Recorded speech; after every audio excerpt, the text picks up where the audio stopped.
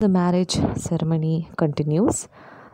The bride kisses a goblet, a glass of wine, and the knight Lochinvar takes it up. He quaffed off the wine and he threw down the cup. So he drinks or swallows the wine very quickly and he throws the cup down. Now, Ellen is the bride. Lochinvar is the knight who has drunk the wine. Looking at Lochinvar, Ellen looks down to blush, but at the same time, she looks up to sigh. There is a smile on her lips, and then there is a tear in her eye.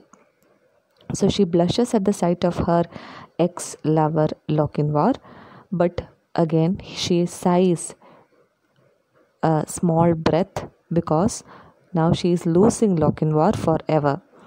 There is a smile on her lips because she is happy to see Lochinvar, but there is a tear in her eye because she knows that she is not going to get Lochinvar anymore. Now it is customary for the guests of a wedding in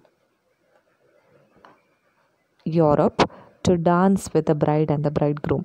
So the guest here is the knight Lochinvar. He takes the hand of the beautiful Ellen, the bride, and takes a few steps to dance. He took her soft hand ere her mother could bar, before her mother could stop, and now he says that we shall tread a measure. Measure, I have already said to be a dance step, so they are now dancing a few steps. In the next stanza, we can see the description of what happens next. Lochinvar was so stately and glorious in his form, in his appearance, and Ellen was looking so lovely in her face. And such a Galliard dance, Galliard is the name of a ballet dance, such a da- Galliard the Netherby Hall had never witnessed before. Such a graceful and beautiful dance of a couple has never been witnessed by the people gathered there.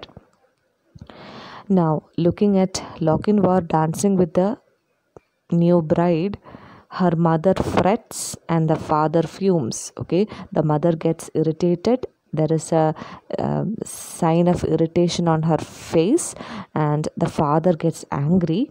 And what does the bridegroom do? We already know that he is a cowardly person, a dastardly person. He just stood there dangling his bonnet and plume. So, bonnet and plume is the sort of helmet or cap or hat that the bridegroom wears and he just plays with it does not say or do anything to see his new wife getting uh, emotionally charged with a guest and looking at the dance the bridesmaid or the girls or cousins the girls standing there whispered to themselves it were better by far to have matched our fair cousin with young Lochinvar.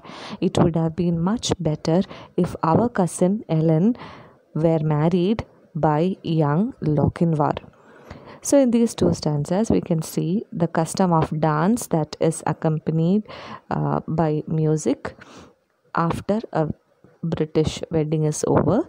We can see that the cup of wine is taken by the knight, and as he drinks the wine and throws the cup away, the bride Ellen blushes to see Lochinvar.